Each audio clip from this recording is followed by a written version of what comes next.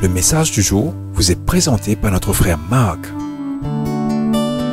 Salut, chers bien-aimés de notre Père Céleste. Notre message sur faire confiance à Dieu pour vos lendemains continue. Bien-aimés, nous avons cité Jésus dans Matthieu 6, versets 31 à 34, nous disant de ne pas vous inquiéter pour demain. Très cher, essayez de comprendre.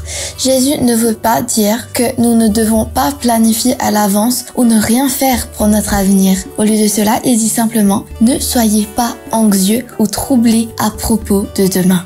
Quand on y pense, la plupart de nos anxiétés concernent ce qui pourrait arriver demain. Nous sommes constamment harcelés par deux petits mots. Et si Et si l'économie échoue et que je perds mon emploi, comment vais-je payer mon prêt? Comment ma famille pourra-t-elle survivre? Et si je perds mon assurance maladie? Si je tombe malade ou dois être hospitalisé, ainsi être ruiné Ou et si ma foi me fait défaut dans des moments difficiles? Très cher, vous pouvez multiplier vos et si vous finirez par avoir mille angoisses? Et si vous empêche de vivre la vie abondante que Jésus vous offre?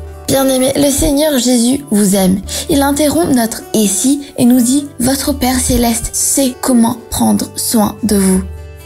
Le Christ nous dit, vous n'avez pas à vous inquiéter. Votre Père sait que vous avez besoin de toutes ces choses et il ne vous abandonnera jamais. Il est fidèle pour vous nourrir, vous vêtir et prendre soin de subvenir à tous vos besoins. Bien-aimé, vous devez lui faire confiance et faire exactement ce qu'il vous dit de faire. Il veut que vous regardiez les oiseaux et les lys, fleurs dans les champs. Matthieu 6, 26 à 30. Et il termine le verset 30 en disant, Oh, vous, hommes de peu de foi. Maintenant, cher bien-aimé, dites-moi, sommes-nous toujours plaignants Bien-aimés, lorsque nous sommes venus à Jésus, nous donnons avec joie tous nos passés au Seigneur, lui remettant nos péchés passés. Nous lui faisons confiance pour le pardon de tous nos échecs, doutes et peurs. Alors pourquoi ne pas faire la même chose avec nos lendemains?